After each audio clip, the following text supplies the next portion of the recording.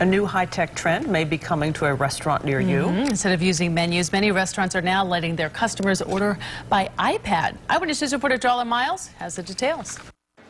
There are literally more than 140 million ways to create your own healthy burger at 4Food on the east side. So ordering can take a little time. We browsed through the internet first, so we sort of wanted to see what's available, and it's kind of cool. Instead of holding up the line, this couple sat at one of the restaurant's iPad kiosk. With this thing, you feel very, uh, very hip, very cool. Cool and interactive. We might do more iPads or Androids or whatnot. It's very much of, we like to think of our food as sort of open source food, if you will, and open source technology. So uh, we're not dependent on any one platform.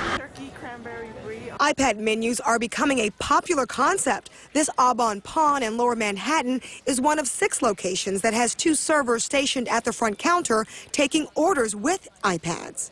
They used to have just like a, a notepad with uh, papers you could rip off and you'd fill it in yourself.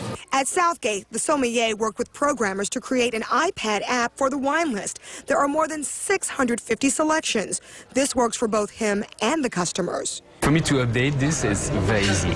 Like, uh, let's say I run out of a wine uh, in the middle of a service, I can just like off, and, and here we are. While it may be more efficient and a lot more fun, is it really cost effective to have 10 iPads at $500 each? Southgate has 10, and wine sales have soared. 4Food, uses 10 iPads too. Sure, it was an initial upfront cost, but they've, they've, they've definitely paid off quickly. Darla Miles, Channel 7, Eyewitness News.